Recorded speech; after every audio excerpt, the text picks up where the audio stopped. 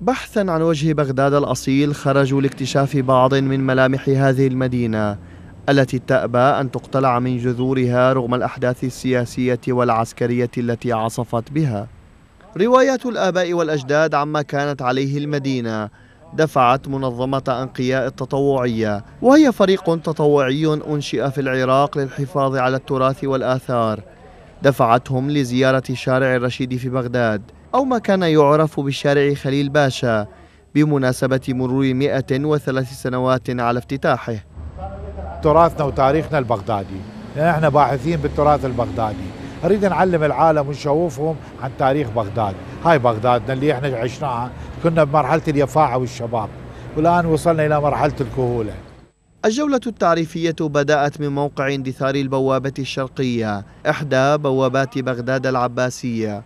مرورا ببيت عبد الرحمن النقيب أول رئيس حكومة عراقي. وانتقل المشاركون لرؤية بيت خليل باشا آخر وال عثماني لبغداد. والذي تحول لاحقا لمتحف عبد الكريم قاسم ليجمع بين عصرين مهمين في تاريخ العراق. وفي ختام الجولة كان لابد من زيارة مرقد السيد سلطان علي والتمتع بعدها بلذة الطعام البغدادي أمام نهر دجلة في حي الأعظمية.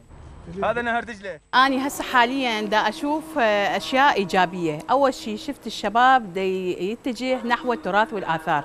آه، دائما دا نشوف آه، طبعا هي بسبب الأهل دائما يتحدثون عن القديم عن الماضي. هذا الشيء جمل الصورة. فحبوا من خلال هاي التجميل الصورة حبوا إنه يشوفوها. بس كان يعني تعرف الظروف الوقت غير مناسب. التعرف إلى جمال الأماكن التاريخية ليس الهدف الوحيد لهذه الرحلات. بل أخذ المتطوعون على عاتقهم. مساعدة المرضى بالسرطان من الأطفال. العدد قام يزيد عندنا. قمنا نسوي هاي السفرات. مثلا ناخذ فد مبلغ زهيد من من اللي يجي همنا هذا يصير آه، ريعها للأيتام وريعها لل شو اسمه للأطفال مرضى السرطان. آه، طبعا إحنا كفريق أنقياء تطوعي يعني يمكن ما يعدي شهر إذا مو عندنا أربع حملات خمس حملات ومن فضل الله الحمد لله وشكر.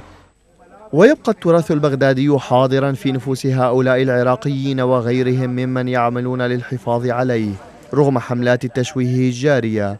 ويريدون بالمقابل أن يكون موجودا في حاضرهم ومستقبل الأجيال القادمة.